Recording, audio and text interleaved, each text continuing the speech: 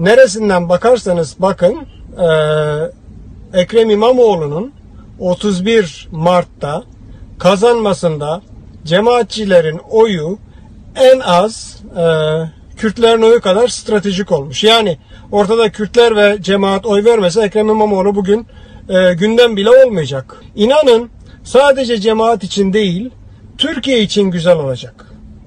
Çok güzel olacak. Ekrem İmamoğlu'nun dediği gibi Türkiye için çok güzel olacak. Bu deli gömleğini çıkarıp atacağız. Mümkünse Erdoğan diktatörünün sırtına kefen olarak giydireceğiz.